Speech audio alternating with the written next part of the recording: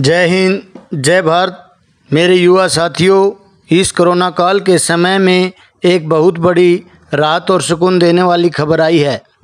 मैं आपका दोस्त अजीत फौजी सुंगरपुरिया और आप देख रहे हैं हमारा YouTube channel Om sports academy Tosham. दोस्तों, आज बात करते हैं अध्यापक वर्ग की।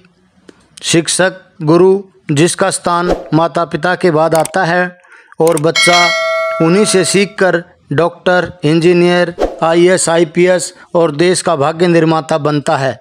समाज में अध्यापक को एक बहुत ही आदर के साथ देखा जाता है।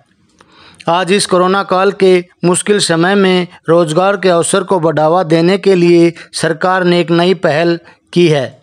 केंद्रीय शिक्षा मंत्री रमेश पोखरियाल निशंक ने गुरुवार को एक महत्वपूर्ण घोषणा की और इस संबंध में सभी राज्य और केंद्र शासित प्रदेशों को इसमें ज़रूरी कदम उठाने के लिए सूचित किया है।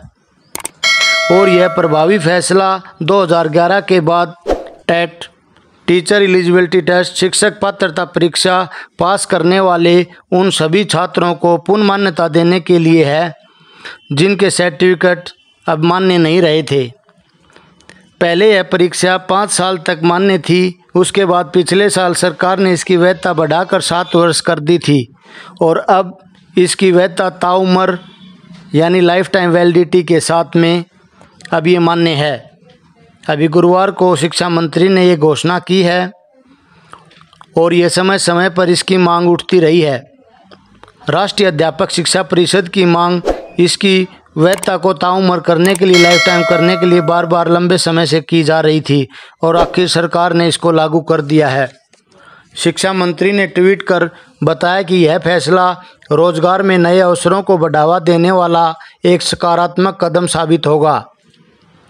अगर आपने भी अध्यापक बनने का सपना संजोया है तो आपके टेट, टीचर एलिजिबिलिटी टेस्ट शिक्षक पात्रता परीक्षा पास करनी पड़ती है। अगर आप भी किसी स्कूल में पढ़ाना चाहते हैं तो आपको ये परीक्षा पास करनी पड़ेगी। अब इसकी वैधता ताउमर है आजीवन मान्य रहेगा ये। केंद्र सरकार की तर्ज पर भी, हरियाणा सरकार ने भी एच टेट की वैधता को आजीवन कर दिया है। अब ये शुभ समाचार 2011 में जिन छात्रों ने टेट की परीक्षा पास की थी, उनके लिए एक अंतिम अवसर होगा।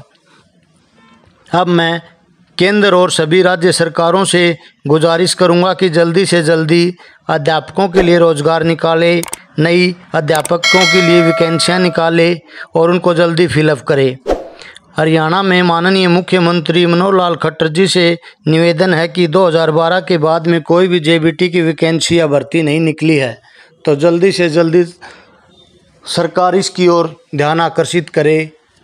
जय हिंद, जय भारत साथियों।